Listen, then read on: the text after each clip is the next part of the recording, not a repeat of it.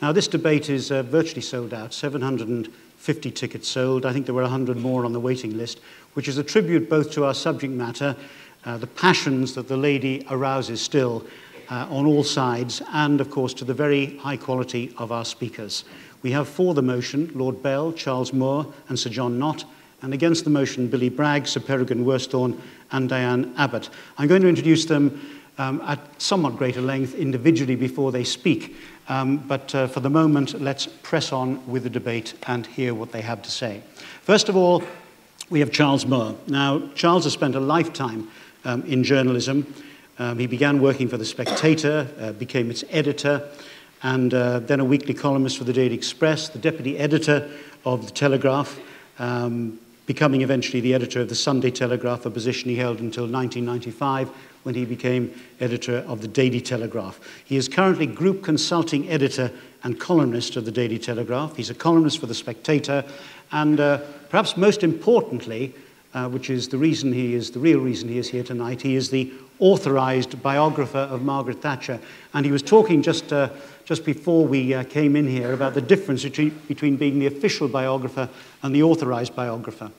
The official biographer means that it is government commissioned, which is what he is definitely not doing.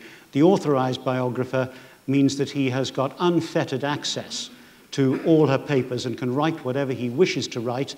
Um, I think he said he's got another five years' work to do on this, um, but he cannot publish the book until um, after Lady Thatcher has passed away. Uh, which was something that I didn't know, and I'm sure it would be interesting to all of you. But he's already done a copious amount of work on this book. So, uh, to kick off the debate for the motion, suggesting that Maggie Thatcher saved Britain, please welcome Charles Moore.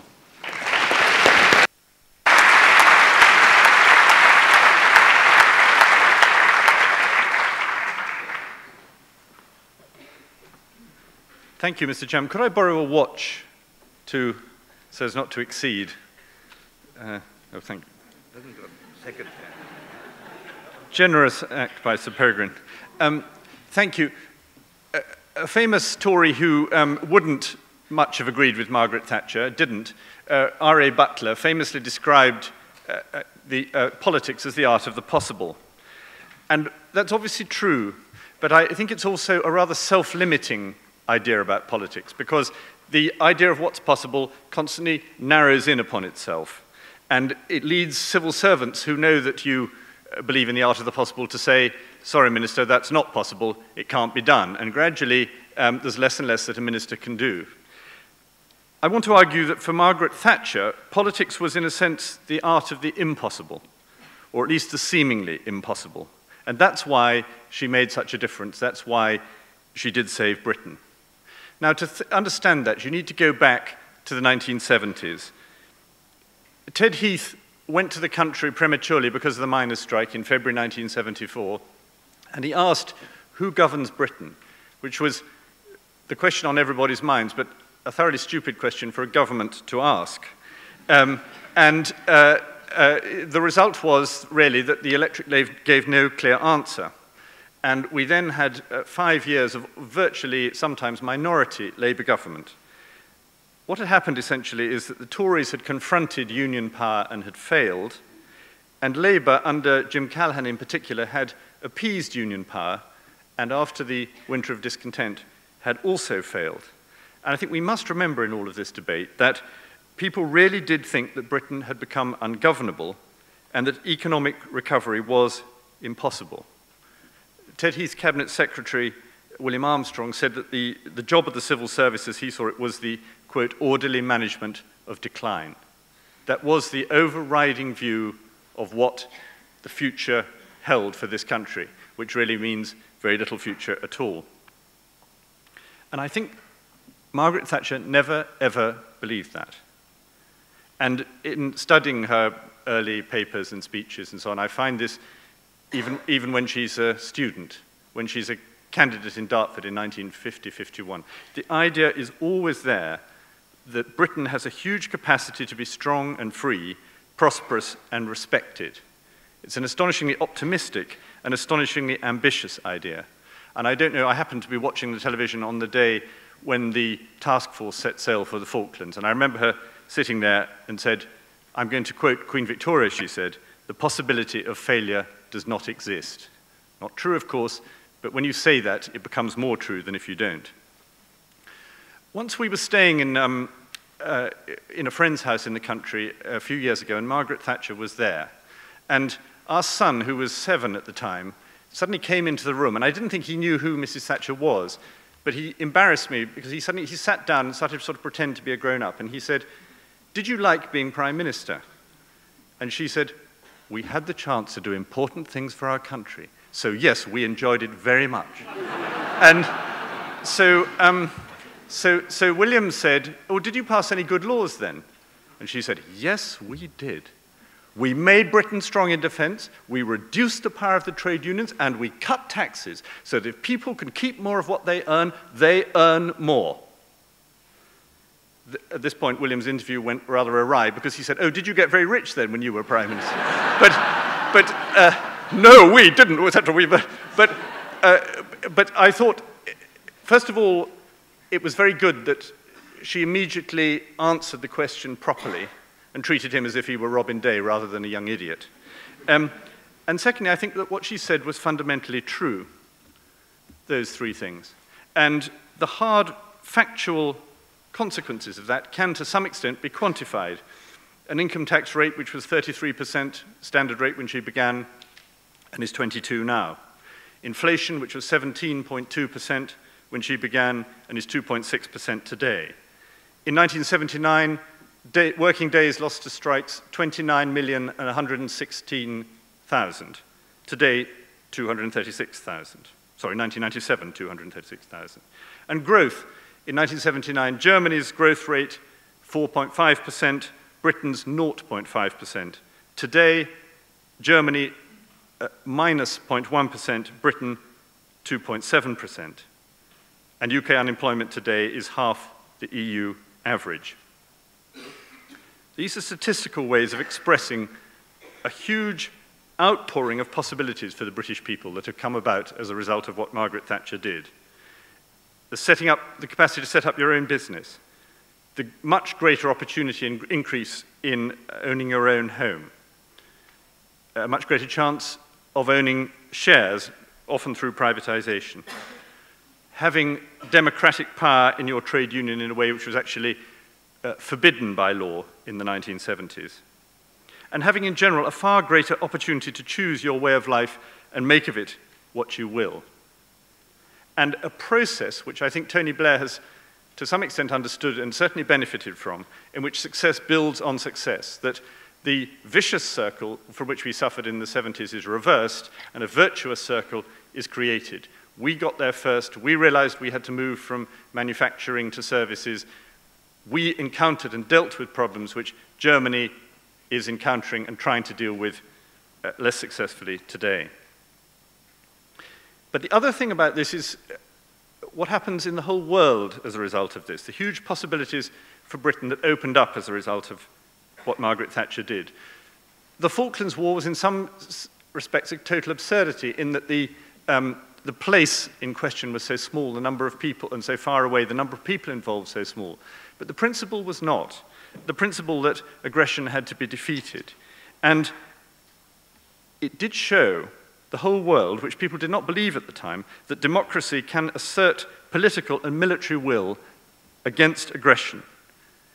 And Margaret Thatcher did this remember, at the beginning, against her greatest ally, America, who were very, very dubious about it, against huge numbers of doubters at home, against a great deal of international opposition. And I do believe, and it was said by Willie Whitelaw on the day we won, that she was the only person who could conceivably have had the will to do that.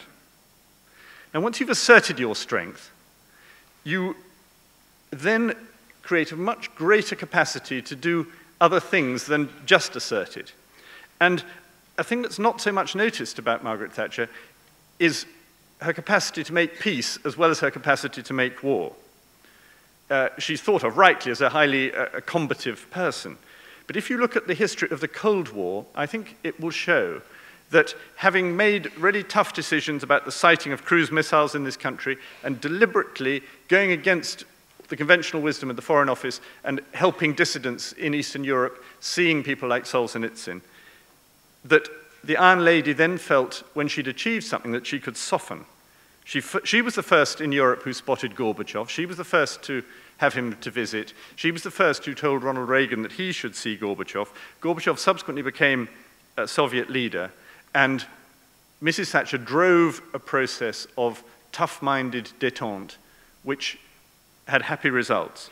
Her period in power began with the Soviet invasion of Afghanistan and it ended after the collapse of the Berlin Wall.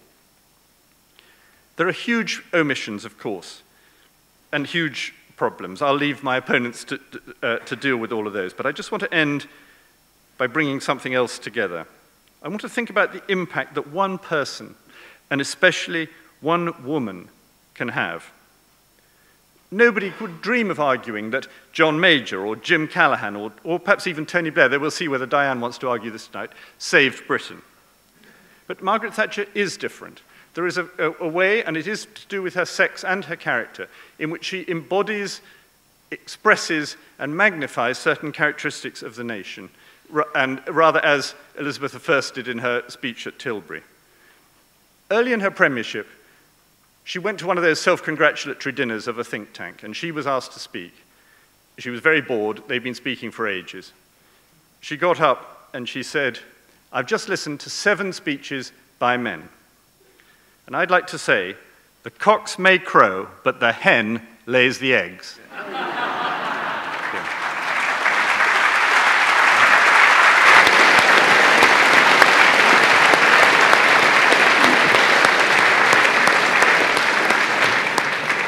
Charles, thank you very much indeed. And our next speaker is Sir Peregrine Worsthorne, uh, who was lead writer and foreign, foreign correspondent for The Times in the early part of his career, just after the war.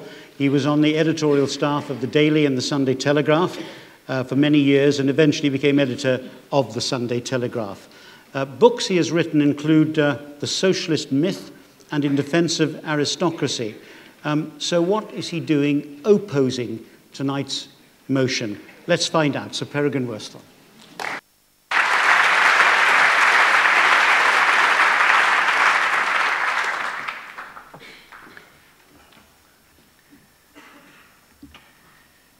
I asked myself, what am I doing? Because, of course, in many ways, I found myself in complete agreement with everything that Charles Moore has said in defense of, or in praise of, Mrs. Thatcher, because, of course, it was very much the tune that I myself sang with total conviction during the Thatcherite era.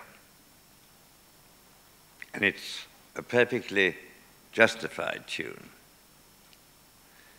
But what I would like to say tonight is something different because we are living in the post Thatcherite era, and it's possible for us now to reflect on those years. I, I, I was a great fan of hers, and indeed a beneficiary. She gave me my knighthood and so on. And therefore, in a way, I feel slightly treacherous in doing what I'm doing tonight. But I feel myself that looking at her legacy, which I regard as having been spectacularly and horribly destructive much that made this country a lovable place, that I have really no honest alternative. Mrs. T was absolutely right to want to reduce the excessive power of the trade unions. But the trouble was that the ugly passion she released to do this went on to destroy much else besides, including, of course, the old Labour Party, but I expect uh, uh, my colleagues on this side will, will, will, will dwell on that. But I, as well as, of course, the destruction of the old Labour Party, there was the, to my mind, perhaps more important destruction, the destruction of the old Conservative Party. And she destroyed much else besides. In fact, in my view, living here as we do in the 21st century, much else of what made Britain such a lovable place to be. For not content with having trashed, trashed the great tradition of working class solidarity and comradeship, a truly precious national asset, she went on to do the same for the upper class tradition of public service and paternalism, also, in my view, a very precious national asset. Uh, ladies and gentlemen, it was a Faustian pact.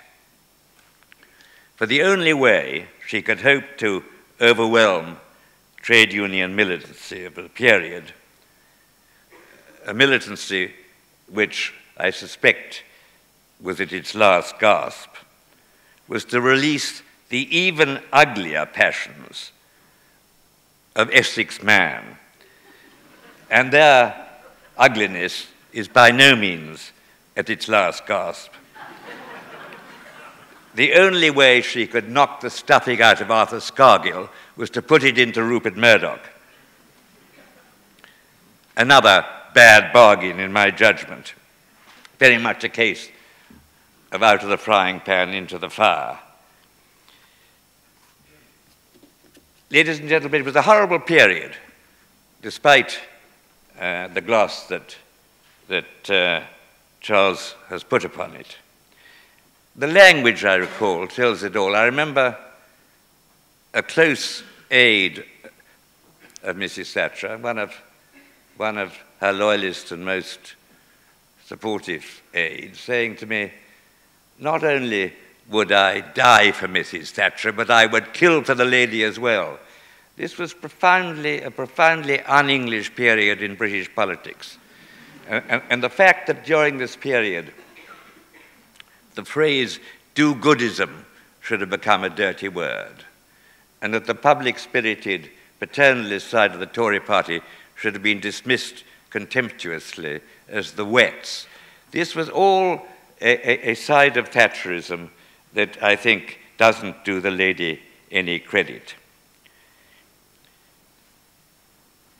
Increasingly during this period, I felt that the language of politics was a very un English one, something that I had never heard in my own experience before. What she wrought was nothing less than a bourgeois revolution. Very little was left un untrashed. The professions, the BBC, the universities, the churches, and even uh, Charles's old newspaper and my old newspaper, the Daily Telegraph. It was on Margaret's watch that this symbol of respectable England, the, the organ that bank managers carried under their arm where they wanted to be uh, to, to impress their possible clients and their respectability was the Daily Telegraph.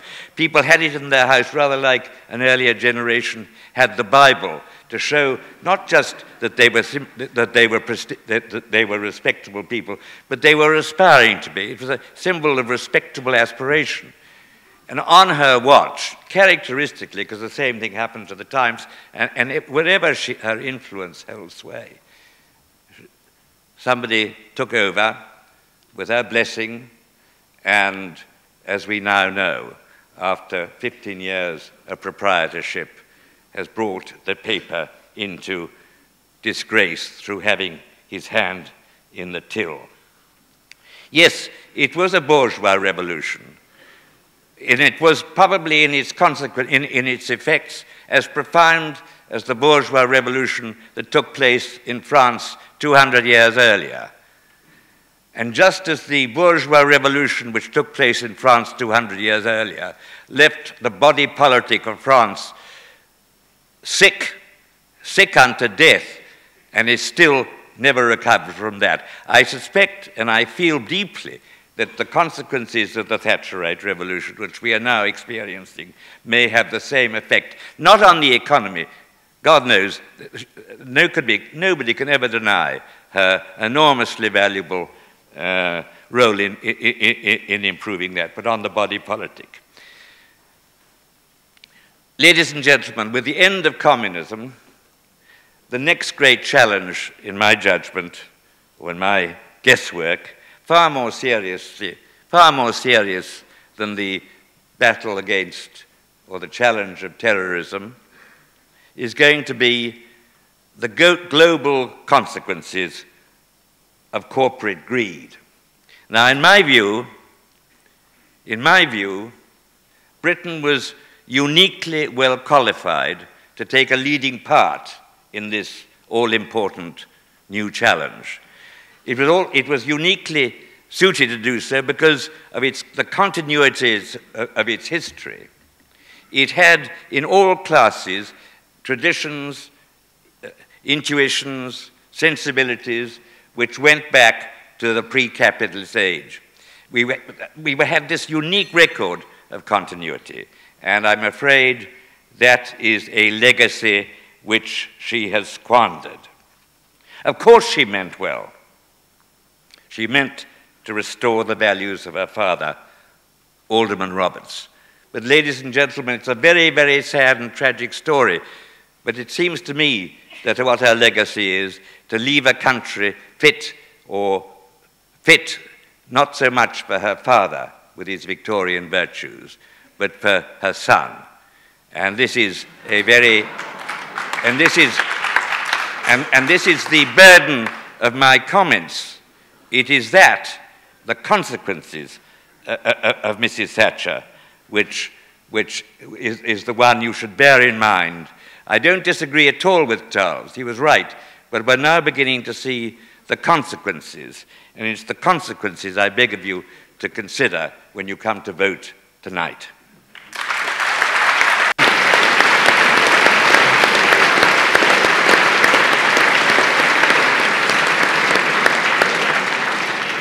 Mr. Peregrine, thank you very much indeed for that uh, um, interesting and uh, unusual angle that you've taken on the motion. Um, we're now going to hear from uh, Lord Bell in favour of the motion. Lord Bell rode shotgun to Maggie Thatcher, um, insofar as anyone could do that, um, during her rise to power and through her years as Prime Minister. He was reputed to offer her advice, ideas, on, and lateral thinking on a level uh, which he received from few others. Not surprisingly, he went on to found and become chairman of the Chime Group of companies, offering uh, what else? High quality public relations and business advice to organizations across Britain and around the world and those people who run them, from big corporations to governments. As a trusted lieutenant, he had an unrivaled view of the Thatcher years from the inside, so he is not surprisingly going to speak for the motion. Lord Bell.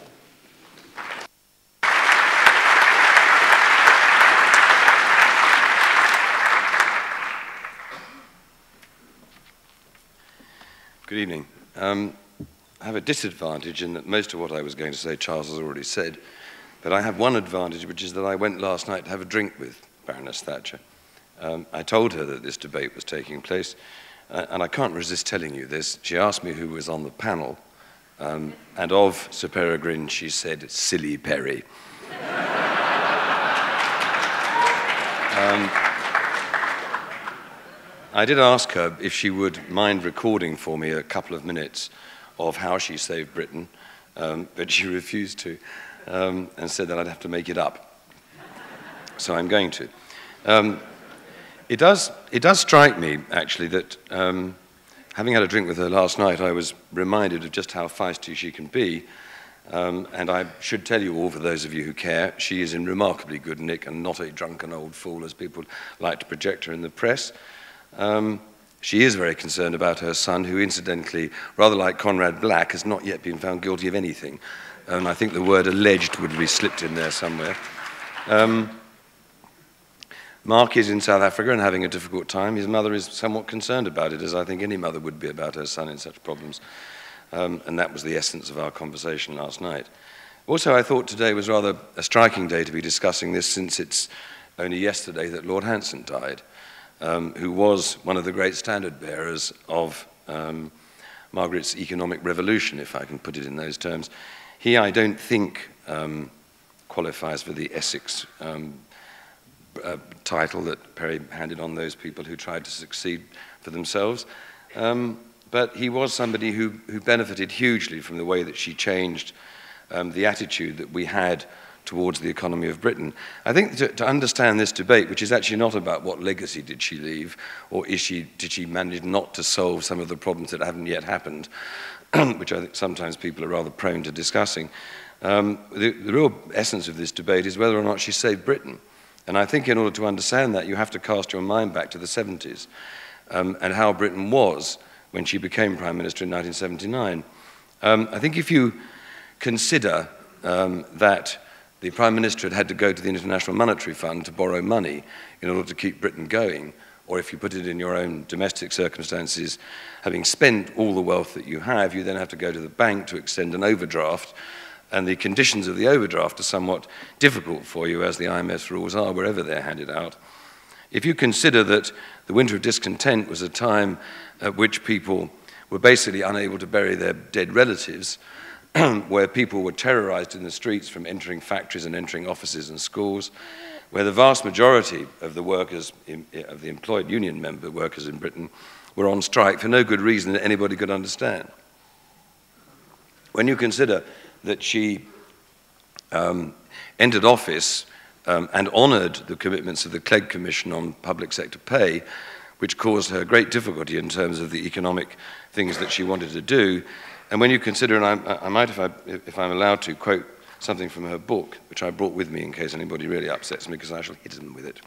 Um, she looked at, when she um, came to look at the state of the economy, she discussed it in cabinet, as she reports in her book, and it's really where the wets and dries first emerged. Um, the, the issue that people were talking about was what to do about the economy. People knew that there were things that should be done, but they were concerned that they, that they couldn't. Um, and she faced this extremely difficult, I'm shuffling my papers around because I've forgotten where I wrote this bit.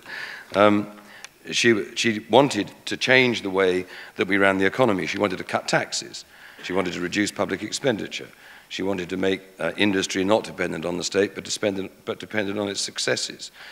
It was the view um, at the time that she took office partly caused by the Clegg Commission, partly caused by the IMF loan, and partly caused by um, the difficulties that existed in the economy, it was her view that she should cut taxes.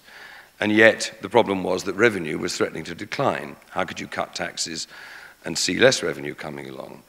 It was her view that she should cut public expenditure, but the public sector was the only place creating jobs. The private sector was too weak to do so. Um, and she wanted to reduce industry's dependence on the state by removing state subsidies and making industry stand on its own two feet, which again was something that she passionately believed in. The debate in cabinet was pretty much along the lines that she couldn't do any of those things because they would have a devastating effect. She said in her book, we were traveling down the down escalator, and in order to escape from it, we had to run up it. And we had to run up it extremely fast. My phone has gone off, it is unbelievable. Probably yes, probably is her. Um,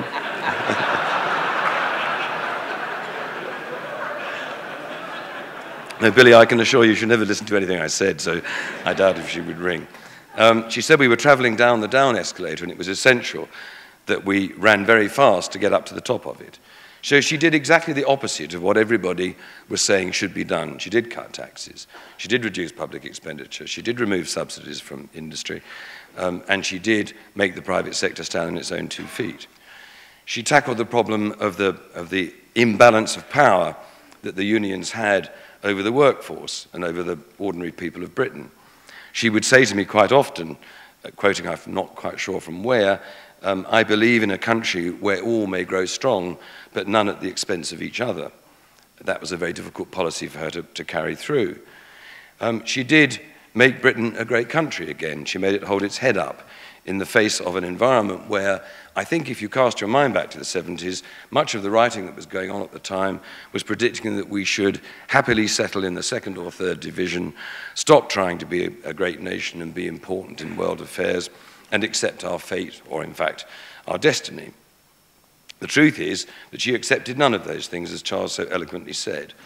But she began her term of office with this phrase The forces of error, doubt, and despair were so firmly entrenched in British society, as the winter of discontent had just powerfully illustrated, that overcoming them would not be possible without some measure of discord.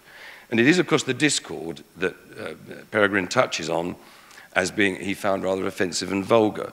But she recognized that we were not going to shake ourselves out of the situation that we were in unless we allowed ourselves to have some discord, for people to disagree with each other, for the wets to be different to the dries, for the people who thought that their job was to protect those people um, who were poor and who were weak, would sometimes misunderstand some of the things that she did, although I can assure you from my own personal experience, she only ever wanted to help those people. She also recognized politically that we were entering a new era. I think it was J.K. Galbraith who, when asked to define the middle classes, said that the middle classes were functionaries without capital who canute-like stand against the ear-rising tide of proletarianization. And that was a force that she could recognize was coming. But I think, in my view, history will reflect that Margaret Thatcher saved Britain when it was at a crossroads. A crossroads of giving Britain a sense of identity or allowing us to backslide into geopolitical oblivion. A crossroads of empowering British people by being tough on the unions and reducing dependence on welfare, or continuing the debilitating dependency on a state unable to respond financially. A crossroads of economics which would reduce taxes and create jobs, or one which would undoubtedly continue the nation's financial decline. And finally, perhaps most importantly, a crossroads which meant standing shoulder to shoulder with America to defeat once and for all the awful political and economic system that was communism in the Soviet Union, or to sneak out the back door on our responsibilities to our country and the rest of the world. I think that she did all those things, and I think that she left Britain in a much better condition than when she took it. I think she saved the country from the kind of disasters that were being accepted by people as the norm. She left us a freer country, a prouder country, and a more successful country. She did, in my view, save Britain. She also had a hand in saving the world. I will leave you with one last story, which I, a, a story, a note I got when she left office. it was a handwritten note from John Birt, who was then the Director General of the BBC and who is now Lord Birt and in the Downing Street Modernisation Unit and one of Tony Blair's most trusted advisors. He was the Director General of the BBC, which I should remind you, Dennis would frequently describe as a nest of pinkos. Um, in fact, I remember uh, John Birt also threw a dinner for her um, when she left office, and we went along to this, to this dinner, and I went with them. And Peter Jay was amongst the hosts, and Dennis walked up to him and said, I'm amazed at what you do, you know, Peter. Wonderful the things you achieve. What kind of staff do you have? And he said, um, just one researcher. He said, we write all that stuff with just one researcher. And Peter Jay said, No, no I think you're confusing me, Sir Dennis. You're thinking of when I was the economics editor of the Times. I'm now the economics editor of the BBC. And Dennis replied, Never watch it. um, John wrote in this rather sweet note to me um, the following sentence The sad thing about her departure is that all those people who wish to make something of themselves will now have to try that much harder. I urge you to support the motion.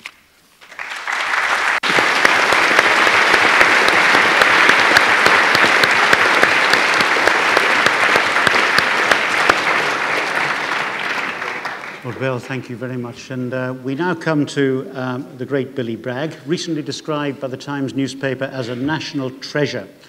In the two decades of his career, he has made an indelible mark on the conscience of British music becoming perhaps the most stalwart guardian of the radical dissenting tradition that goes back over centuries of this country's history. He is here tonight as an anti Thatcher crusader, a very well known one, after seeing how the Conservative government of Margaret Thatcher was changing the fabric of British society, and as he saw it, decimating the mining communities, his songs became more overtly political. He became a fixture at political rallies and benefits, particularly during the 1984 miners' strike, uh, with his strident songs of political solidarity. And those songs have taken his albums many times into the UK top 20. His songs speak of freedom and the need for social change. He is known to some of his fans as the Bard of Barking. Um, we shall see whether he lives up to that title tonight. Billy, over to you. Billy Bragg.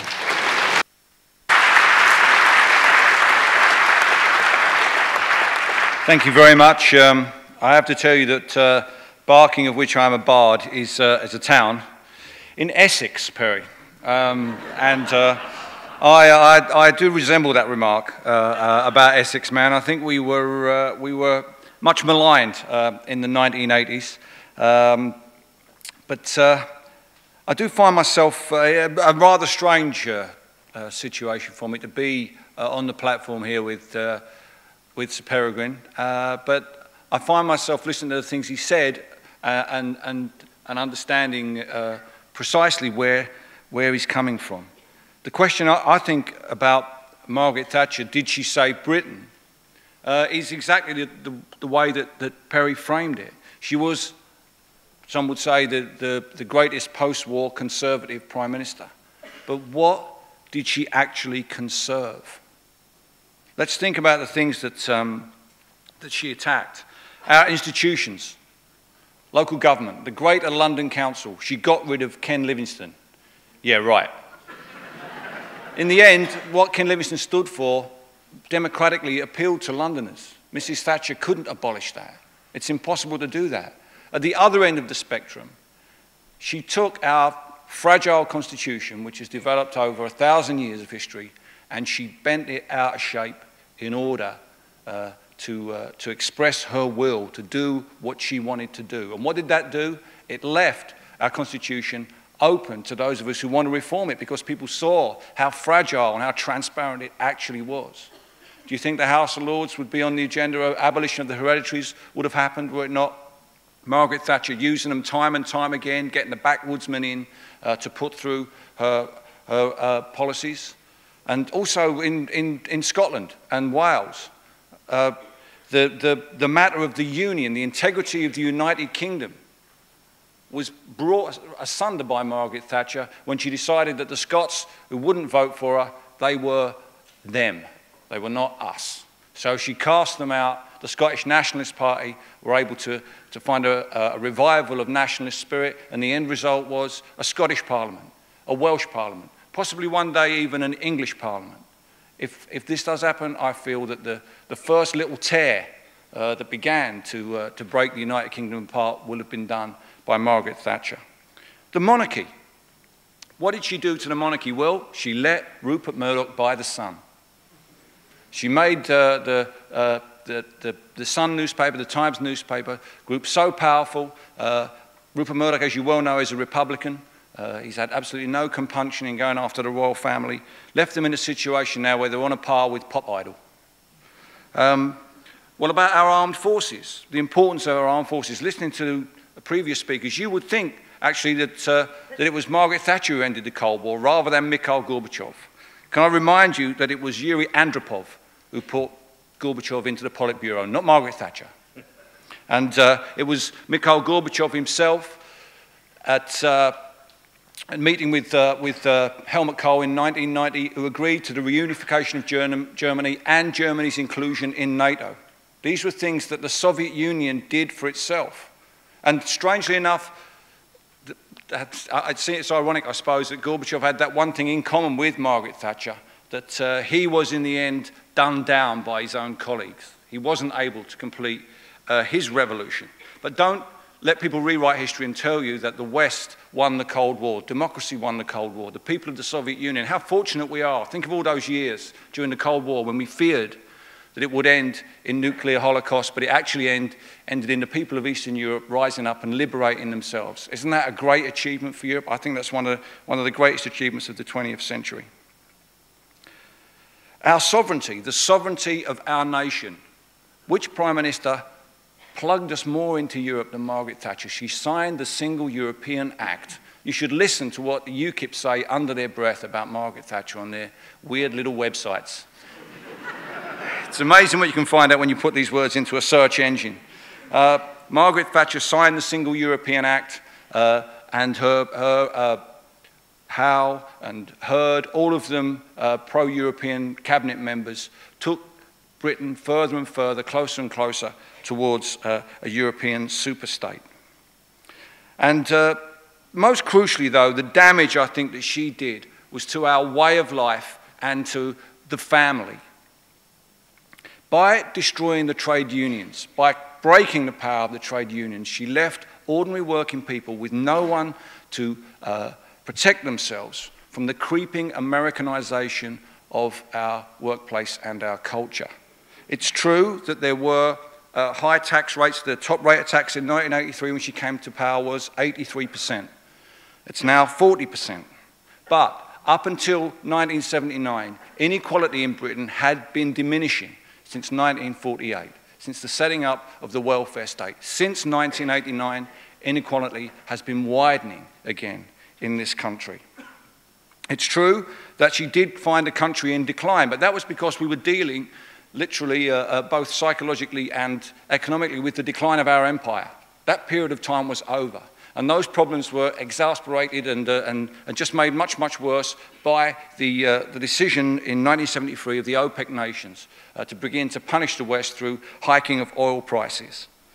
Yes, the Labour government did go and lend money from the IMF, but when Margaret Thatcher came to power, the things that she did to the British economy were far beyond anything the IMF had, been, had demanded. And even Milton Friedman, the architect of monetarism, at one point criticised her for creating unnecessary unemployment.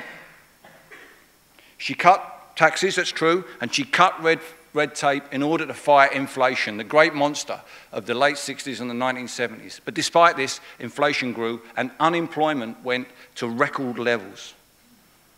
And the fractures that she caused in our society have not yet healed. She was an ideologue.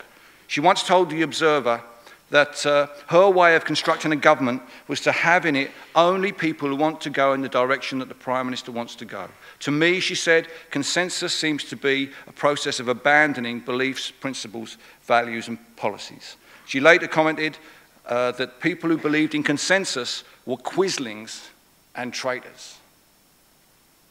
She realized, I think, that the only way that she could open Britain to the corporate greed that's already been referred to by previous speakers to make us competitive was to smash the post war consensus that had built up of the experience of the British people during the Second World War.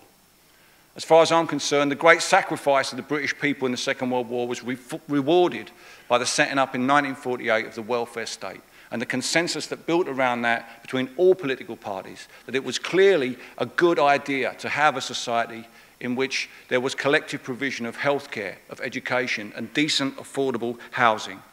All of these things were dreadfully undermined by Margaret Thatcher.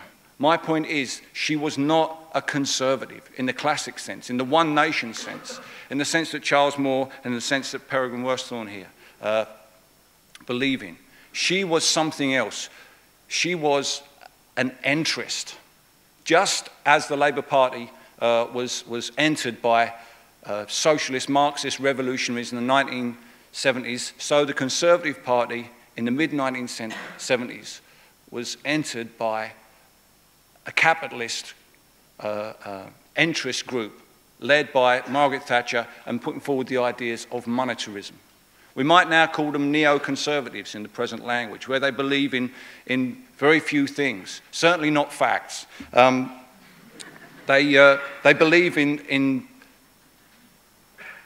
greed and they believe in force and they believe in their own, uh, the righteousness of their own cause. Margaret Thatcher embodied these principles while George Bush was still chugging beers and, uh, and driving around drunk and doing all those other things he did uh, before he found the person whose name we don't want to mention in politics because those, uh, those things don't go together. My, my point is that, that Margaret Thatcher, Margaret Thatcher left us as her legacy a spiteful country, a nasty country, a country which had forgotten really what it was about. In the end, the rights of the individual are very, very important, but they can only be assured by the collective provision of certain things healthcare, education, decent, affordable housing. Sure, she sold off all the council houses, but where are your kids going to live?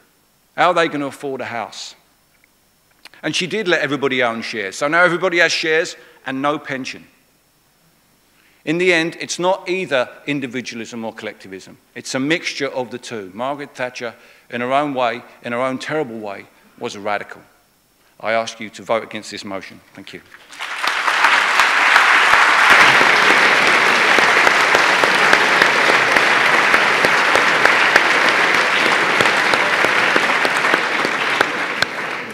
Billy, thanks very much indeed for that. Uh, our final speaker for the motion is Sir John Nott. Uh, a prominent Conservative MP during the 70s and 80s, he most notably served as Secretary of State for Defence in Mrs Thatcher's government during the Falklands War, and before that as President of the Board of Trade.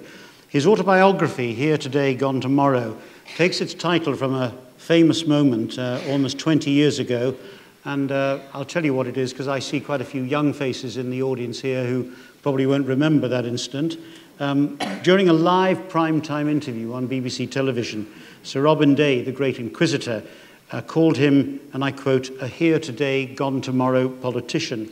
In response, he called the interview ridiculous, pulled off his lapel microphone, and walked off the set and out of the studio. Um, he clearly is not doing that tonight, for which we are immensely grateful. Sir John Nott.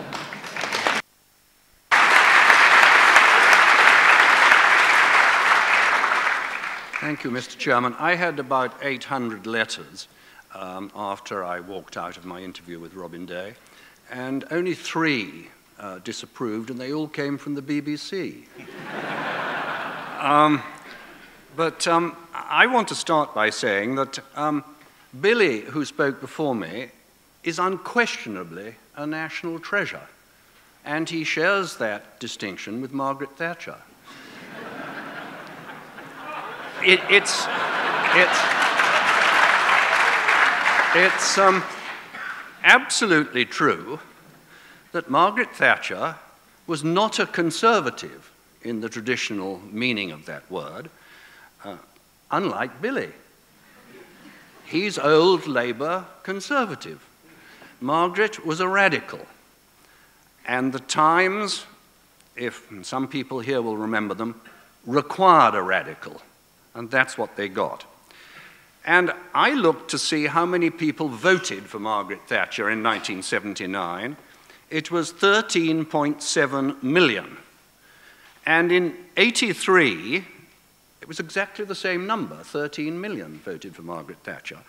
And after eight years, the number of people who voted for her at the British general election had risen. So if all the things that are said about her, and some of them are not really very nice or fair, are true, why did the British people go on voting for her? And why all these votes, where did they come from? Of course, they came mainly from traditional Labour voters. Now, Billy, um, I have a great admiration for him, and I took the great advantage of buying his biography. It, it it, it, it, it, it, it, yes, no, it's not. It's been remaindered. And, and, and um, it, it, it, did, in fact, cost me a pound. Um, and Perry, Perry's book, by the way, is two pounds off. Um, I'm afraid if you buy my book, which I'm sure you all will, you'll have to pay the full price. Uh, now, Billy, I want to say he did a great job during those Thatcher years at community sing songs all around the country. They all gathered round and sang the red flag.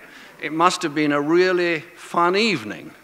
Uh, but the, the, the, the, one that I liked most of, all, most of all was he did the saving school dinners thing, and he sang a thing called Don't Let Spam Fritters Become a Thing of the Past.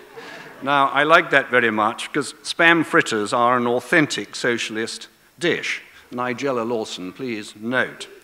Now, why did all those natural Labour supporters vote for the Tories in, 59, in 79 and 83? It was because a gang of trade union leaders had grabbed political power. They were sapping the power of the government to govern and of business to succeed. I remember Moss Evans, Ray Buckton, Jack Jones, Scanlon, Mick McGahey um, getting indigestion by continually eating sandwiches at number 10. Um, bodies were lying unburied in the mortuaries, rubbish was piling up in the streets, food and fuel supplies were disrupted, schools were closed for want of heating, and in 1978, I think uh, Charles mentioned this, 25 million working days had been lost with strikes. Some people might say it was a real socialist paradise. Great Britain was the sick man of Europe, and everybody laughed at us. The whole post war establishment, senior politicians and civil servants in this country, were presiding over what I think uh, Charles described as the politics of decline.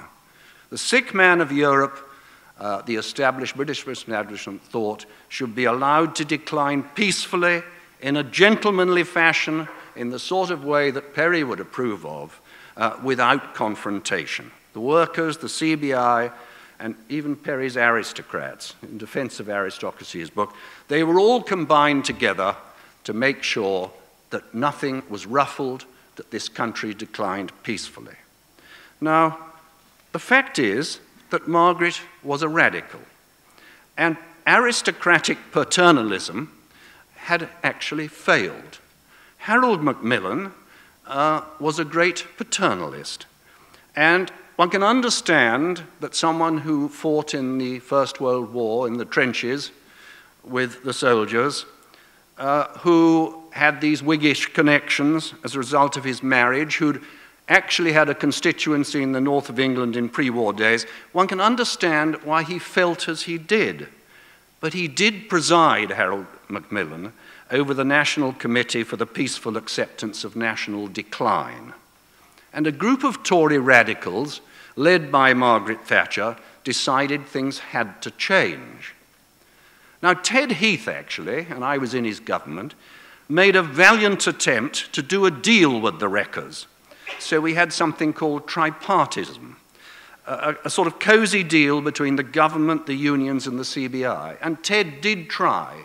He had an appalling horror of unemployment, and it led, actually, tripartism, the deal that he tried to make, to chaos. And so what happened was the Tory party was disrupted. Julian Critchley called it the Peasants' Revolt. The backbenchers of the Tories party rose up in rebellion and they booted out Ted Heath and replaced uh, him with Margaret Thatcher, a rather strident lady. And in Perry's words in his book, he says, We were replacing an existing lot of tolerant and genial rulers because established and secure, I agree with that, with a lot of almost certainly insecure and rough edged rulers because new and unestablished. That's chaps like us, new and unestablished. We were Arrivistes um, and second hand car dealers from Essex. We were called garagistes. Garagistes.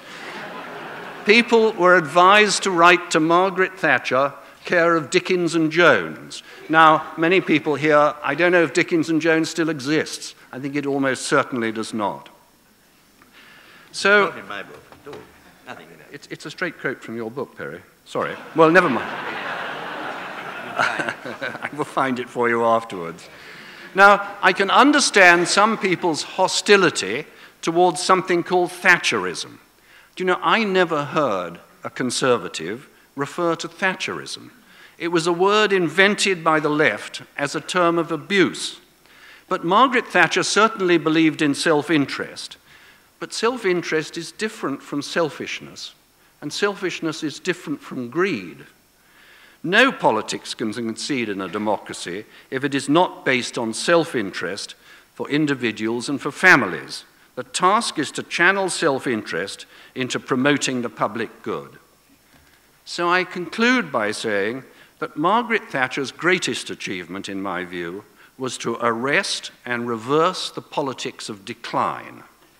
It needed her as a courageous and tough leader with a group of other people around her to boot the British establishment out of its lethargy. And yes, institutions had to be confronted. Yes, the country had to be jerked out of the complacency that had lasted far too long since the Second World War. The political power of the trades unions was destroyed, not the trades unions. The trades unions weren't destroyed. Their political power was destroyed. The sale of council houses gave ordinary families a sense of personal independence and ownership. Privatization destroyed the cozy and utterly unenterprising culture of the public sector. It was painful, very painful, but the old declining industries had to be closed down. If you were to tell a young audience today that before privatization of British Telecom, that's not very long ago, it took you six months to get a telephone, and then it only came in black, they wouldn't believe you. That's what privatization did. Of course, it is true that the collapse of the steel, coal, shipbuilding, and other state industries was unbearably painful, and the high price of the pound exacerbated unemployment. But the country had to be forced into the real world. There was never going to be any gain without pain. And the final act, actually, which opened this country to the real world was the abolition of exchange controls. I remember I was a Treasury Minister, and one of my jobs was to police exchange control. And a lot of PC plods, retired policemen, used to come into my office, and a great gang of people from the Bank of England, and they used to show me a brochure of holiday villas, which were owned in Spain and elsewhere. And uh, they said that these people have bought their villas overseas without going through what was known as the premium dollar. You had to pay a big premium in order to buy anything abroad. It was the kind of closed world so beloved of totalitarian states. It was a nanny state. Now, no one laughs at the sick man of Europe anymore. We have higher growth and lower unemployment than any of our European partners. Uh, I have a chart at home which shows the wealth of France and the wealth of England over the last 200 years. And it's only actually during the last few years that this country has become richer than France. And in fact, we are now the fourth richest country in the world. Now, economics is a dismal science. And I don't by any means suggest that prosperity is more important than social cohesion and happiness. But my goodness, prosperity counts. And history shows that when a country uh, travels towards economic collapse and anarchy, which is exactly the position we were in in 79, that is the thing that brings around a totalitarian state. So I conclude by saying that, in my view, Maggie Thatcher did save Britain, and I don't see really how anyone can deny that fact. Thank you.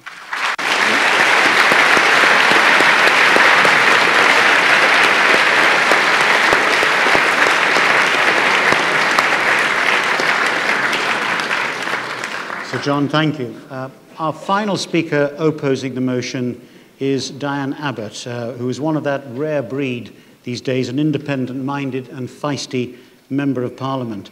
Um, she made history by becoming the first black woman ever elected to the British Parliament and has since built a distinguished career as a parliamentarian, broadcaster, and commentator. She served on a number of parliamentary committees. She's been on the Treasury Select Committee, uh, the Foreign Affairs Select Committee, and most recently, um, she, um, she has set up a special parliamentary committee investigating gun crime. She appears regularly on television and radio. Uh, who would miss her regular appearances on Andrew Neil's late night political discussion programme on BBC One, where she jousts with Michael Portillo. Um, but when I say that she set up a special parliamentary committee investigating gun crime, I am convinced that she has come here tonight armed only with words with which to oppose the motion. Diane Abbott, ladies and gentlemen.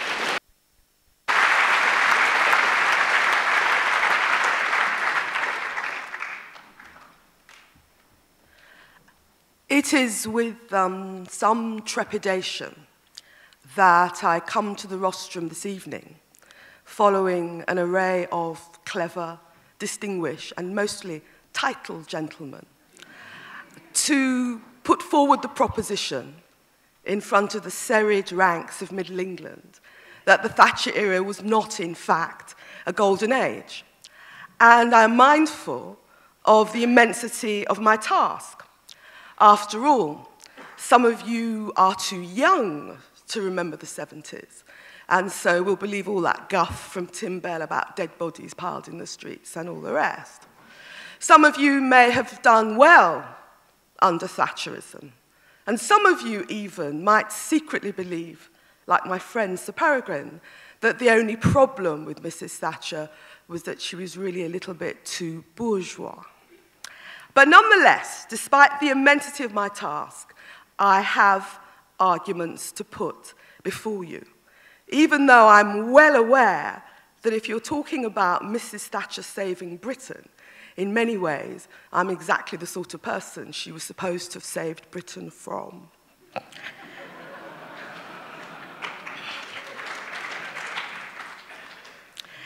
Let me begin by making one point. You've heard speaker after speaker, mostly titled, come to the rostrum and trash the post-1945 welfare state. They would have you believe that from the 1945 general election and the election of the Attlee government to 1979, nothing good happened. Britain was a basket case. It was one long litany of decline, and as more than one of them has said, piles of dead bodies lay in the streets. Let me tell you something about the post-1945 welfare state, because it's fashionable, even, I have to say, amongst some of my colleagues in New Labour, to trash it. And let me tell you, I am a product of the 1945 welfare state. I was born in 1953. And only under that dispensation could the child of Jamaican immigrants who themselves left school at 14 come here and have, I say it without, with modesty really, one of the best educations money could buy, all the way through to Newnham College, Cambridge, and a master's degree in history for free, and leave that university believing that I was as good as the Lord Knots, the Sir Tim Bells, and the Sir Charles Moore. Free orange juice, free education, and a sense of equality. Those were some of the themes of the post-1945 welfare state. And you've heard a lot about politics tonight from Westminster insiders. But let me tell you, for ordinary British people, when they look back on that period from 1945 to 1970, many of the things that are most intrinsically British, many of the things we are proudest of, many of the things which mark our British identity, whether we originate from Jamaica, Pakistan, or right here in Britain, many of those things flourished and characterized the post-1945 area. It suits the Thatcherites to say nothing good happened. It suits the Thatcherites to, to create this Kafkaesque nightmare, nightmare picture, but it wasn't the reality for my generation. I entered Parliament in 1987, and Mrs Thatcher was then in all her pomp and pride. And let me agree with some of the speakers that have spoken before me and say she was a truly remarkable person. There's no question about it. I unlike anyone else on this um, platform, sat opposite her in Parliament on the opposing benches for years and years. And perhaps the most extraordinary thing about Mrs Thatcher was there was this um, lady, in her 40s, I think she must have been, when I first crossed her path, surrounded by an almost entirely male Conservative Party, much more male than it is today, And she would sit there on her front bench, her ankles, much admired by people like Sir Tim Bell and Lord Norton, Sir Charles Bell. her, her ankles very neatly crossed, and each and every one of those august knights of the shires and Tory MPs in suits were scared shitless of her. and that, that, that was truly remarkable, and it was worth being an MP in the 1980s to go into the House and contemplate that spectacle day after day after day, because you knew many of them despised her because she was, after all, a grocer's daughter. You knew many of them didn't know how they ended up with woman as leader in the first place, and yet she ruled them entirely through fear.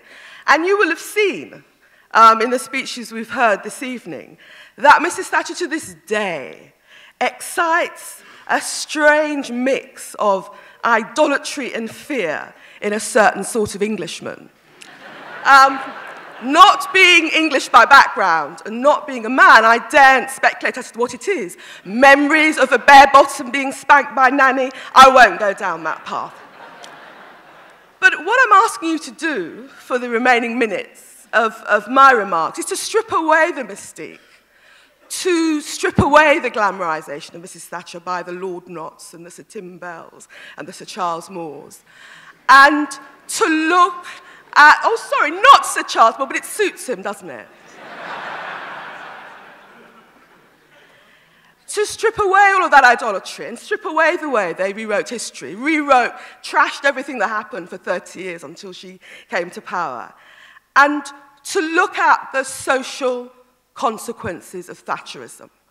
Because if you look at Thatcherism and society, if you look at Thatcherism and domestic policy, her leading idea, her big idea, the idea which, for better or worse, New Labour continues to implement, was the elevation of the market. For Mrs. Thatcher, the market always knew best. For Mrs. Thatcher, there was no form of social provision, be it education, be it health, be it care for the elderly, which would not be improved by the introduction of market forces. And yes, that did represent a break with what is described as the Butskalite consensus, the consensus which ruled from 45 to 1970. She did attempt to take the market and market forces where market forces hadn't been before. And we are living with Mrs. Thatcher's elevation of the market, Mrs. Thatcher's big idea, Mrs. Thatcher's deification of market forces to this day. Last night, my government, my own government, put forward legislation to deregulate casinos, as if the people in Hackney are short of places to gamble, as if as if the introduction of huge US casino monopolies onto British soil represents any sort of gain for the society as a whole. But that is where Thatcherite deification of the market takes you. And when people say that Mrs Thatcher saved Britain. When the Lord Knox and the Sir Tim Bells and Sir Charles Moore say that she saved Britain, they mean she saved their Britain. I put it to you that there's a wider Britain outside the Westminster Village and a wider reality who are perhaps not so quick to believe that she saved them. Did she save the elderly? It was Mrs Thatcher that broke the link between pensions and earnings. And what we've had ever since her era is the relative decline of the state pension until now we have one of the lowest pensions in Europe. Of course, because she adored the market so much. She also told the elderly or people approaching uh, old age, oh, you can put your money into private pensions, which of course collapsed. Did she save young people? She brought the market into education. She began the move to take away grants. Did she save the poor? When Mrs. Thatcher left office, we were in a more divided society than ever, a bigger gap between rich and poor than ever. But finally, let me say this. Mrs. Thatcher left us free, proud and successful. Free if you're an old person struggling to live on a declining pension. What are we proud of the hundreds and hundreds of homeless people you can see in the centre of London any evening this week? Successful if you judge success, as Charles Moore does, by your rate of tax. Maybe she was a success, but I believe, and I'm in politics because I believe, that there are many other important things to building a good society. I believe that Mrs Thatcher may have saved Britain for the people represented on this top table, but I believe we are living with the damaging consequences of a deification of the market to this day. I beg you to oppose the motion.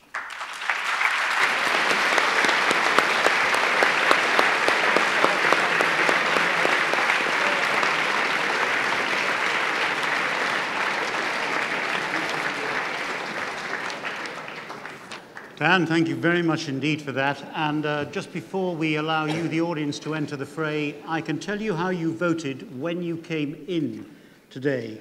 347 of you were for the motion, and 142 of you were against. Uh, 157 of you did not know, so 157 minds to be, to be made up. And I have to say that if all those minds were made up, to join those against the motion, um, the motion would still be carried unless some of the 347 who came in here voting for it have decided that they will change their minds in the view of what they have heard tonight. And that's what makes what happens in the next few minutes particularly exciting. Um, so, who would like to kick off? The one proviso I would make, by the way, is that uh, uh, please keep your comments relatively short so that as many people as possible can have a say. You can either ask a question or you can make a comment. If you want to direct it to a member of the panel, please do so. I won't call in every member of the panel on every question, and we will try and rock and roll through this um, as quickly as we can, editing as we go, as it were. And I see a question from, I think it's the lady down there at the back with her hand up, if you could get a microphone to her. And uh, if you'd like to just tell us, give us your name and uh, maybe who you represent so the evidence can be taken down and used against you. Thank you. Okay. Can you hear me? My name is Victoria Preston and I'm a lifelong Labour voter, but I'm very, very uh, disillusioned with Diane Abbott's government. Do you think, Diane, that Martyn Lewis was right when he said that uh, Margaret Thatcher saved Britain because she made Tony Blair possible? Or that she didn't save Britain because she made Tony Blair possible? That was, that was intended as a, as a little joke at the beginning, but someone's taken it, someone's taken it very seriously. Uh, how, would, how would you interpret it? Did, did uh, Margaret Thatcher make Tony Blair possible? Um, there are many um, remarkable things about Tony Blair. Um, but when I did, it, I did ask you to keep your answer short. but when it comes to domestic policy, I would argue, and this is a problem some of us in the Labour Party have with him, that he is actually Mrs Thatcher's natural son and heir. And much of what he's done is to bed down many of the turns to the market which she took in the 80s. So, so, so Mrs Thatcher did change Britain? Well, as far as Tony Blair's concerned, I mean, apparently he went to her for advice in the early years of his premiership. And you see what happened? Right, next, uh, next question, please. Yes, gentleman down here. Yes, if you could stand up, uh, everybody, that would be great. Uh, Am I the right one? Yep. Um, Sir Chairman, uh, John Maddox, ex-editor of Nature, uh, I, would, I voted on the way in to oppose this motion, and nothing I've heard this, this evening has changed my mind. And the reason for it is quite specific, quite specific to Mrs. Thatcher. If you look at the proportion of British GDP gross domestic product spent on research in Britain. You find that it was quite high in the 1940s, just under 2%. It fell steadily from 1984 to 1997. It's now going back up again thanks to the uh, Labour government's policies. Mrs. Thatcher was responsible for this. It happened on her watch, as Donald Rumsfeld would say. And later, late in my spell at Nature, I went to see her, trading on the fact that she and I had been trained in chemistry in the same lab at the same time, although I must say she was much busier running for chairman of the Oxford University Conservative Party than for uh, chemistry. Nevertheless, I went to see her and asked her why British spending on research had declined. And she had the gall to say the following these international comparisons don't matter because, after all, as you know, British scientists are smarter. And that struck me at the time to be an ignorant remark. I did my best to suggest so, but also one that was deeply damaging to Britain.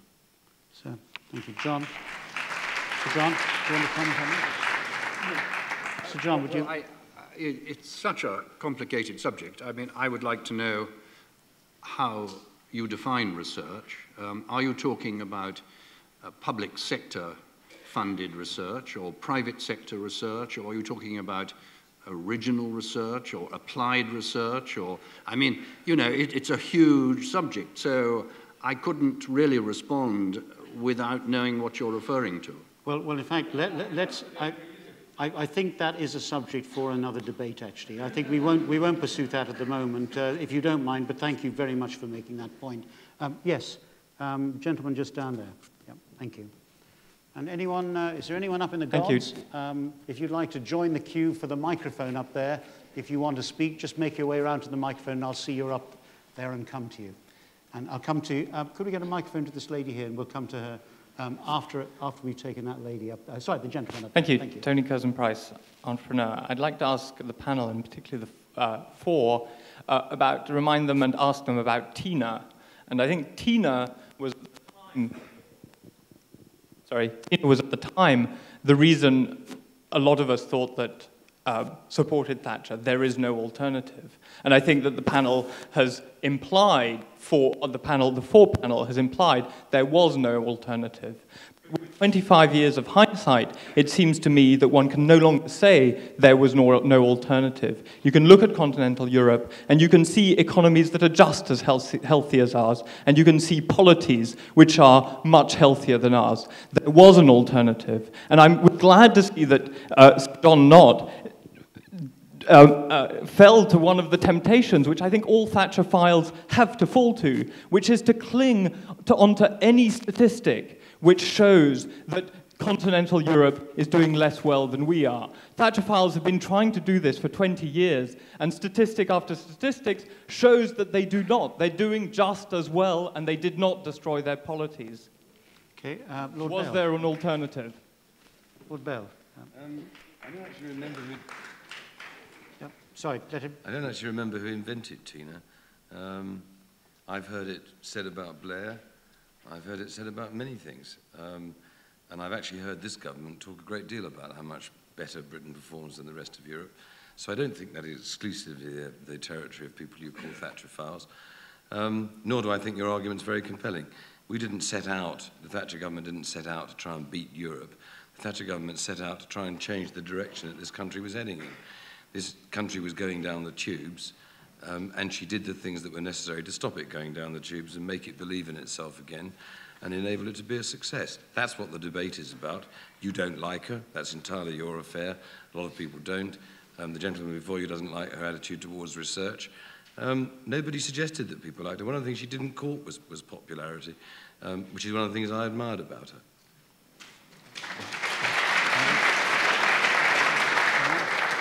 Billy, Billy? So there's no alternative then? Is that what you're saying, Tim? Basically, I mean, this whole idea, this whole idea that we weren't in some way com- competing with Europe. I think it was you who used the phrase "a sick man in Europe" when you spoke. I mean, it is true. I mean, and- it's always Germany that we're compared to presently, that we're so much better off than Germans. That's because they've had to take an industrially uh, wrecked country into their economy over the last uh, 10, 15 years. It's going to take them a long time before they, they survive that. We're still having to get over what was done during the 18 years of Thatcherism. It's going to take us a long time to put our polity back together as well. Okay, um, Charles, Charles Moore, do you want to come in on that point, the Germany's troubles at the moment are maybe specifically due, as Billy suggests, to the, to the reunification? Uh, well, they clearly, they clearly um, are added to by reunification, but I think they are more profound. Um, I think there was no alternative because uh, our situation in economic and industrial relation terms was so much worse when Mrs. Thatcher became Prime Minister than was the case in Germany uh, or France. And uh, what you're seeing now is a need to confront comparable problems, not so severe, but comparable in Germany and France and other continental countries, which they have very poor um, political means of dealing with. Because they, for very understandable historical reasons, are very, very frightened of, of the conflict that is involved in dealing with these questions. But unfortunately, conflict is sometimes involved in dealing with these questions. And this was the key uh, Thatcher insight. Um, when people talk about her fracturing society unnecessarily, I do think it's very, very important to remember that it was fractured. It, it was broken, and somebody had to fix it. Jim Callaghan, when he was Prime Minister in his last year, was in, virtually in tears. I think actually he was in tears about the behavior of the trade union movement that he loved. He thought the sheer selfishness, that word has been used a lot, the sheer greed that was exhibited by union leaders was beyond his comprehension. He didn't know what to do about it. His attempt to uh, work with them had failed, and something different had to come, and it did. So, so Peregrine, how do you react to, to Charles' point that, that there's an element of conflict involved in, in achieving any kind of effective change? Well, I, could, I, I'm afraid I can't, I couldn't hear, so I don't feel I'm really very, That, that, very qualified. that, that, that, that, was, that was the point, one of the points he was making, that in fact um, you have to have a degree of conflict which Mrs. Thatcher was, was rather good at in order, to, in order to achieve effective change? Well, I think that's a truism that, that nobody could deny, but I think there's an equal truism. You have to have a measure of consensus if you're going to hold a society together. I think we can swap truisms until the, until the cows come home without getting very much further in the argument. Okay, Diana. Well, I'm, I was just going to say that Lord Knott made a very telling, and if I might say so, a very Thatcherite point, that you have no gain without pain. I'm Lord Bella. I'm so sorry. No, no, no, Lord Knott. It was Lord Knott who made that point. I'm Mr. Knott. Sir John. Sir John. No, Sir John. Sir John. and we don't know who the chap at the end is. Um, Lord, Sir, what does it matter? Their titles. Doesn't matter. Doesn't Um, talk about he, made, he made an important point, a, a, very, a very kind of Thatcherite point, when he said that there's no gain without pain. The problem for some of us about the Thatcherite years is the Thatcherites made all the gain, and the rest of us had to endure all the pain. Right, yeah. Um, I, I, in, there was an alternative, of course there was. There was an alternative, and that was to proceed um, in the way that the Macmillan and indeed the Heath government had attempted to bring about consensus. But everybody who lived through that period realizes that at the end of the Heath government, consensus had broken down and failed. So there was an alternative, but it just didn't work. Couldn't you, couldn't you say that there was no alternative to Mrs. Thatcher's uh, determination to, to reduce the power of the trade unions? That was what uh, she will be remembered for doing. But she didn't rest there, did she? She went to, to, to do the same thing to the professions. She tried to do the churches. She tried to do it to the universities. Nobody really questions that the, was, that the trade unions were causing a great deal of economic disastrous trouble. But surely uh, we can agree there. But then the really interesting question is the second stage, the, the, the march through the professions and through the institutions. That is the thing which endangered uh, and still endangers the health of this society. And that is the central, it seems to me, indictment, not about the, the trade unions really, but about the forces she unleashed in beating the trade unions, which swept through the rest of society with grave damage, which we are suffering from to this day. That is what I would beg of you to remember. Not that we, nobody can argue about that she had to take on Mr. Scargill, but what happened afterwards that we should consider. Right, could I take a quick series of points from the floor? Um, this lady uh, here who has the microphone, and after that, the gentleman by the pillar, by the pillar there, who's uh, raising his hand, and then, and then, uh, and then we'll take, uh, we'll take two from up above. Thank you.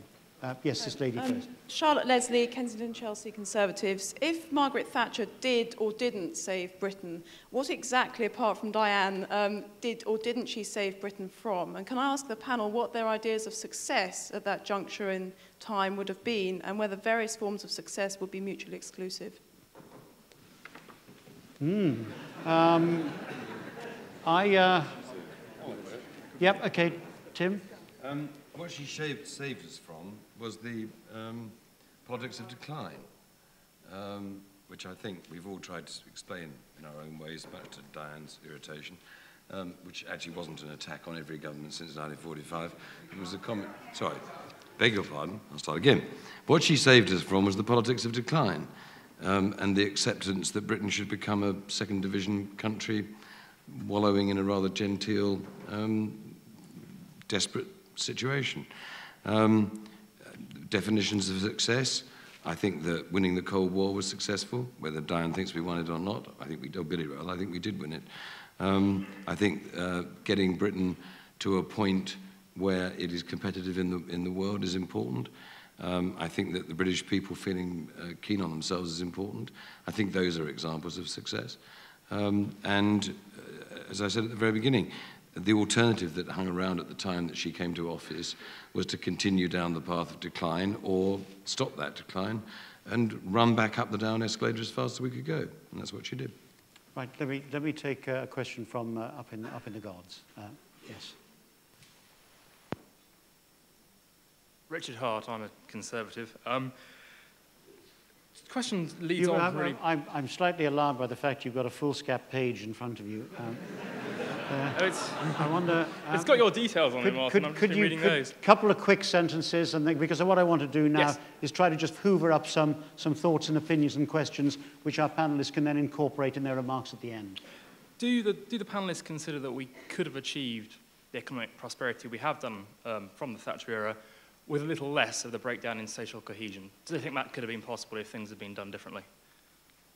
Right, thank you. Let's, let's, let's, let, let's park that for the moment. Uh, yes, um, the gentleman up at the back by the pillar. And then could you get a microphone to this gentleman just down here, if you'd raise your hand?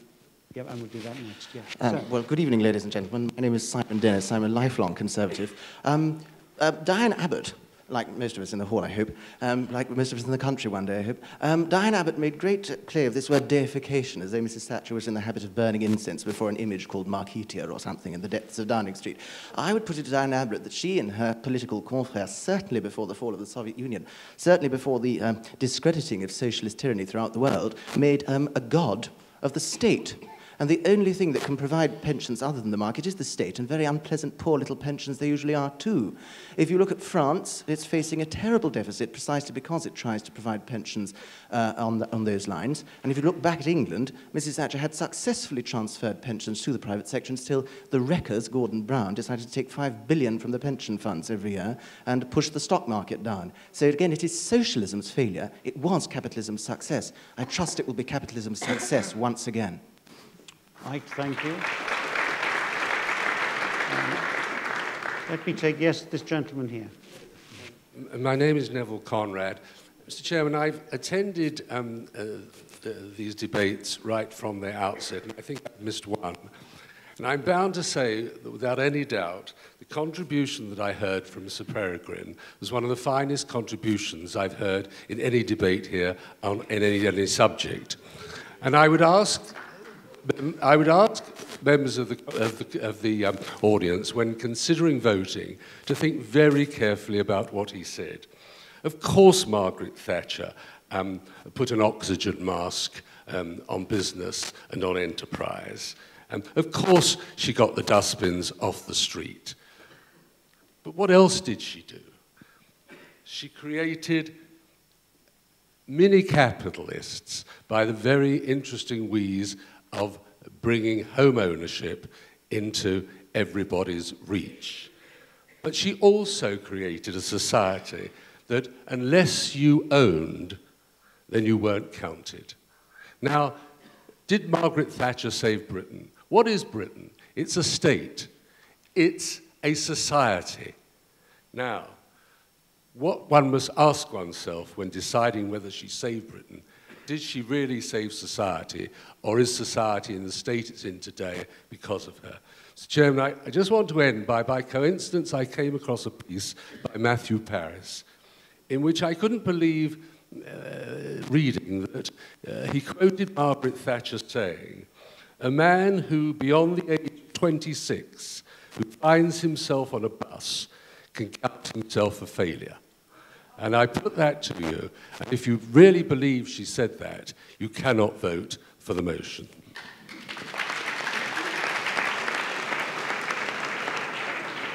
Yes, can I take the lady, the lady up, uh, up oh, sorry, gentlemen, sorry, beg your pardon, sorry. behalf. um, Craig Rimmer, uh, Conservative as well. I, uh, I, actually, are there any Labour supporters in here? Can I just quickly check? Yeah, yeah, there are, there are. Yes, okay.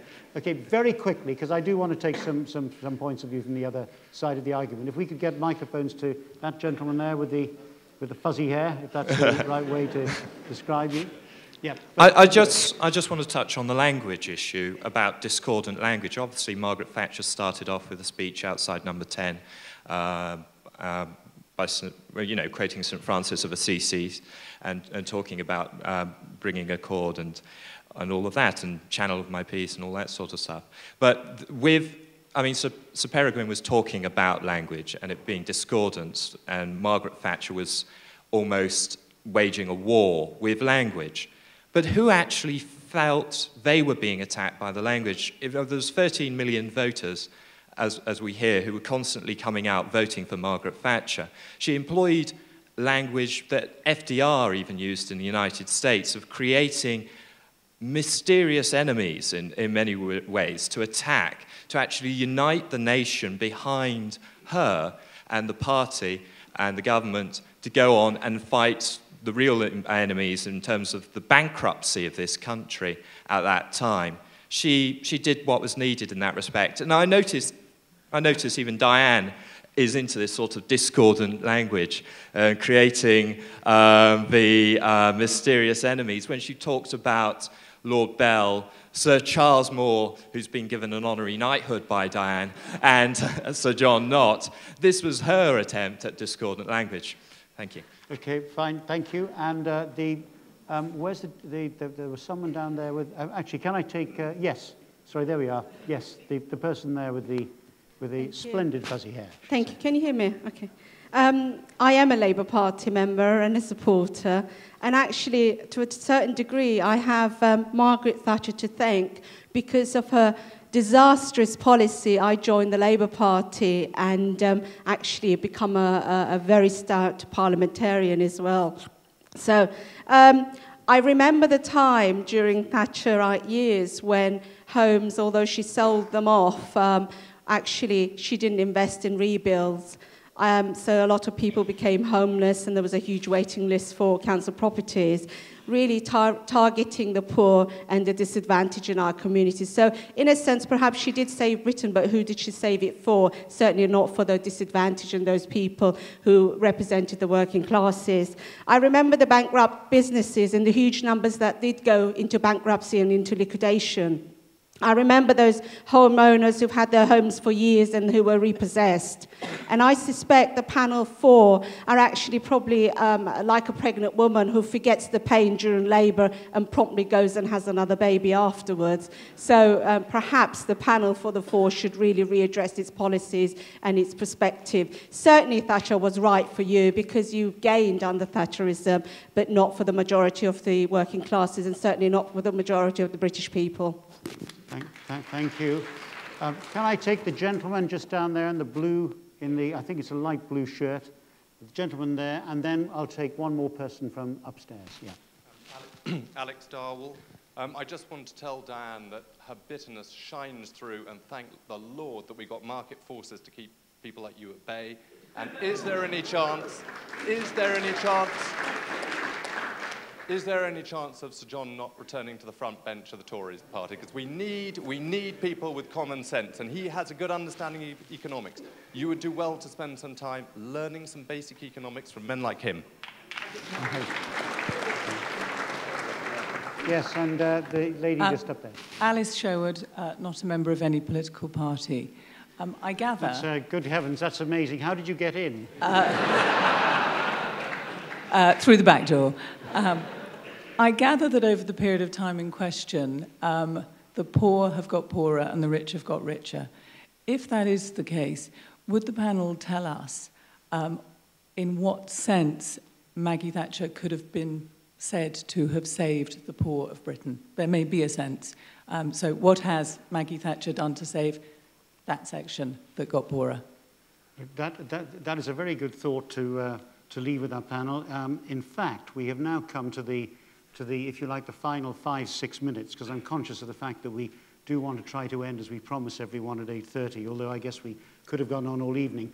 I'm going to ask each of our panelists in reverse order for a one-minute summing up. And while they are doing that, would you like to cast your votes with your tickets, which you've got? I, now, if you want to vote for or against, tear them in half and drop the appropriate the appropriate word into the box. If you want to abstain, just drop in the ticket untorn into the box.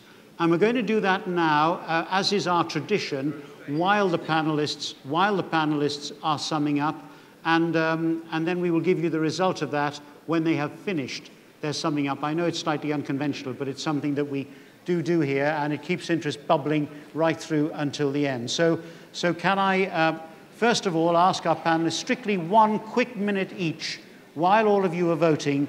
Um, Diane, would you like to would you like to start and give us a quick quick minute? Uh, summing up. My, my argument was simply this: whether or not you believe that Mrs. Thatcher saved Britain depends on your perspective, depends on whether you gained from that area era or whether you were disbenefited. And I would put it to the audience, even at this late stage, that there is a wider Britain outside this hall whom, who are living with the social consequences of the Thatcher era. And for them, she didn't actually save anything that they held dear. Sir John. well, I, I spend my whole time on a bus, and uh, I don't know. Um, I was never frightened of Margaret Thatcher, and um, if anyone had been in the cabinet meetings that I was in, uh, they would have been astonished at the heat and argument that was created. I've never understood this um, statement that um, she ruled by fear. She loved argument, she loved dispute, and it puzzles me. Anyhow, I, as I say, I, I, I always travel on a bus because Mr. Livingstone has given me a bus pass. and I don't really see why the um, council taxpayers in Hackney uh, should be paying for my travel. So perhaps the market um, would be better able to redistribute wealth and resources rather than Mr. Livingstone. And um, finally, I would just say that I remember going to um, Gatwick uh, years ago, before Margaret Thatcher came into power. I can tell you, you didn't see huge millions and millions of people taking their Ryanair or EasyJet flights to Spain. I mean, the prosperity of the country has been transformed. Uh, no one is suggesting that prosperity is everything, and there may be a lack of social cohesion at the moment, and we must try and recapture it. But Margaret Thatcher didn't destroy the health service. She tried to improve it. She didn't destroy it. She didn't destroy the trades unions. She's tried to take away their political power. She didn't destroy education. She actually tried to improve it. I'm not sure she was always successful in those objectives, but um, the notion that she was uh, hard nosed and un un unthinking about social cohesion and social things is just simply untrue, in my view. Billy Bragg. Thank you. Yes, well, I'm, I'm, greatly encouraged uh, by the turnout tonight that this is still a matter of some, uh, some dispute. I get a, a, little warm glow in, in my heart every time when I'm watching Question Time and her name gets mentioned and the audience hiss. Um, it, it, it, cheers me up greatly. One of the reasons why um, we don't want the Labour government to legislate for the building of mega casinos is because we are concerned about people when they gamble. We think they're wasting their money and it's going to impoverish them. What Margaret Thatcher did in order to make those 13 million people vote for them was she allowed them to gamble. She allowed them to gamble because what she used to reverse the decline in this country, as the guy was asking up there, was she used market forces. And in unleashing market forces, market forces, those 13 million people took a gamble that they might benefit from it. My sense is the majority of them did not. One of the great things uh, that, that she achieved, I think, is to put the Conservative Party in a position where someone as ordinary, straightforward, straight talking as Michael Portillo can't even find a seat. That's Margaret Thatcher's legacy. She did that to Conservatives. We have that to thank her for. In the end, the point is, in the end, I think Margaret Thatcher, one of the key things, perhaps Charles, you might want to think about this for your tone, is the thing that's significant about Margaret Thatcher was she was the last Prime Minister to be born before the welfare state uh, came in. To be born not in the 1940s, as subsequent Prime Ministers and leaders have been, but to be born in 1925. She had a sensibility that was pre welfare state. She saw it as something that was undermining those values, and her entire career was devoted uh, to, to trying to bring that down. Because in the end, whether she likes it or not, there is such a thing as society. And if you take out the institutions that support society, then the whole damn thing is going to crumble around your ears.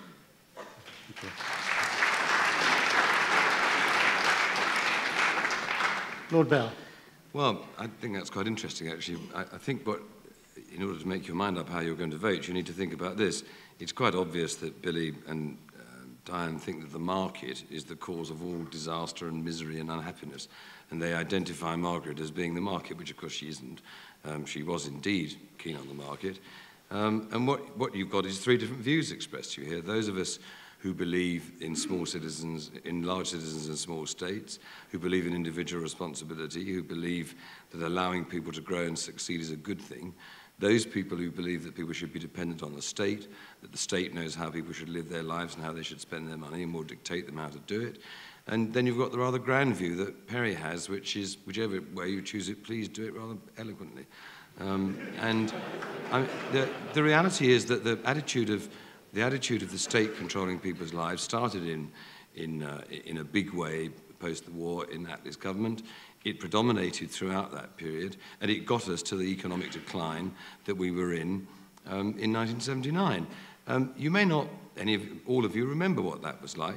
The truth is that we had gone to the bank manager because we were broke and we had to borrow some money in order to get by. There was no way of paying the money back if we continued to create less wealth and if we continued to simply invest money in failing services. Um, what Margaret did was save Britain from itself and absolutely save Britain from the kind of economic and social thinking that Diane Abbott has and that Billy represents. She didn't save it from the kind of attitude that uh, that Peregrine has to, towards these things. She was actually rather fond of aristocrats. And clearly, as Diane finds it so deeply offensive, she managed to create a few of us um, so that we could, we could continue to be equally grand. Um, it might just amuse her to know that I got a knighthood from Margaret Thatcher and a peerage from Tony Blair, so I must be really, really evil.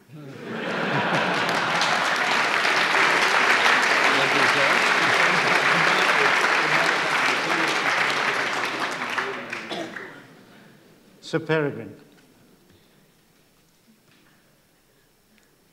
I think the, the point perhaps none of us have mentioned is there used to be a time when the best and the brightest in this country wanted to go into public life to make history.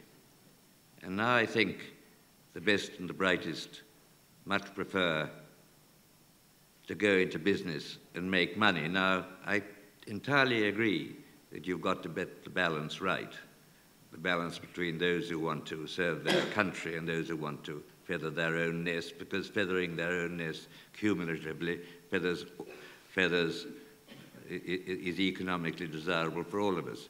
But I think we have now a serious problem, which to some extent I blame Mrs. Thatcher for creating, and that is that public life is no longer attracting anybody. Nobody worthwhile wants to go into politics nobody want, worthwhile wants to go into public life at any level. And if this is, the, if this is true, this is a terrible, terrible indictment of those who are responsible for bringing this deplorable state of affairs about. Do not believe the speakers who point to the statistics of economic growth and say that is the test of saving Britain. If you have trashed the institutions. Parliament is no longer respected. The civil service is no longer respected. All those who run our institutions are suspected of being in it on the make. This is a, a, a the nation will not benefit from a public life that has been reduced to this low esteem. And I think that it, it, it is a serious matter to ponder if Mrs. Thatcher did have this consequence, all the stuff we have heard, how well the country is doing, how this is something which has to be regarded, in my view, as a short term gain at a long term calamity. And if our public life has gone rotten, that is a calamity from which you and your children will all in the end suffer.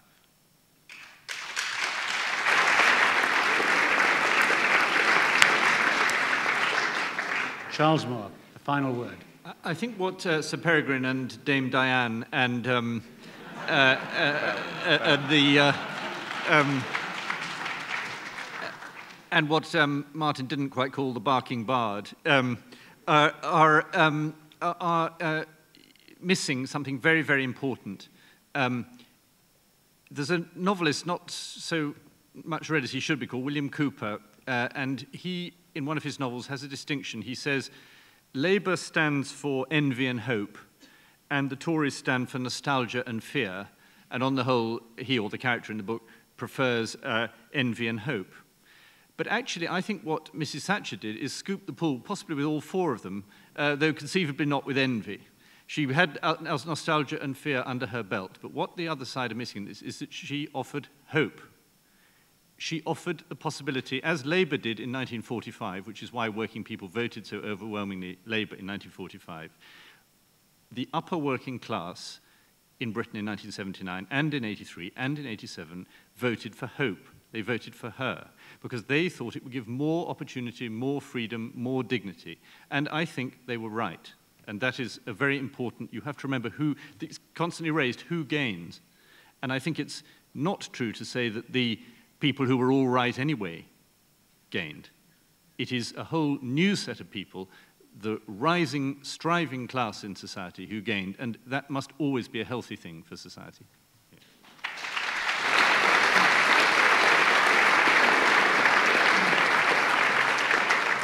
Now, before I, before I open this magic piece of paper to show how your votes have changed, if at all, um, I would like to, uh, I'm also conscious of the fact that you were going off to look at the result of the US election. So um, I would uh, just like to remind you of a story about a senator who ran for the presidency about 40 years ago.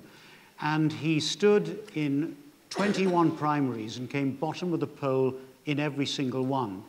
And at the end of the 21st primary, he called his campaign staff together and he said, he said, I'd like to thank you for supporting me through these primaries, he said, but I've decided to quit the race for the presidency. The people have spoken. The bastards. and not only is there one American presidential candidate who's going to be feeling that, or um, maybe, maybe he should be saying the lawyers have spoken, the bastards, you know, if it gets very close. Uh, but not only that, but I, I feel that uh, uh, someone, um, three people, uh, are possibly going to be feeling the same way about you, um, although seriously, I suspect not. I think this was, uh, has been a very excellent and charitable debate carried out in extremely good spirit with some quite exceptional arguments um, put forward and put forward most cogently and well. So, how have you voted Right, at the beginning, 347 of you were for the motion.